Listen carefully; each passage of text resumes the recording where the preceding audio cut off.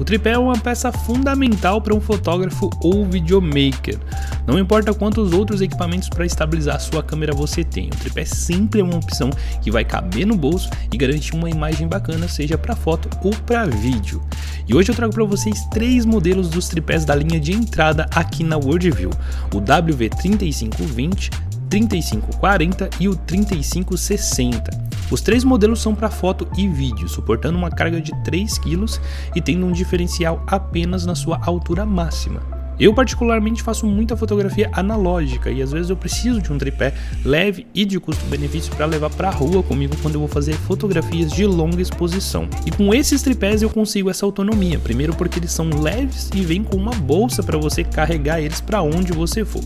Segundo porque não importa se a foto vai ser horizontal ou vertical, esses tripés vão suprir sua necessidade. Também temos adaptadores com suporte para iluminação, como os ring lights, e aí você pode usar o seu tripé como uma fonte de luz para os seus vídeos. Então se você gostou, corre já no site e garanta já o seu tripé da Worldview.